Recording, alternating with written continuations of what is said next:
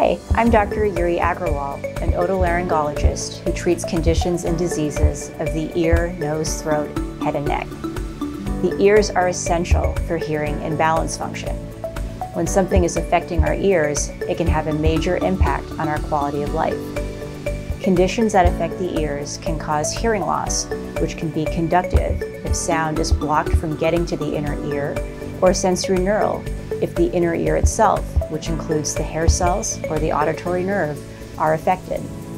Other common conditions of the ear include tinnitus or ringing of the ear, outer or middle ear infections, ear pain, or dizziness and vertigo, which can be due to conditions such as benign paroxysmal positional vertigo or Meniere's disease.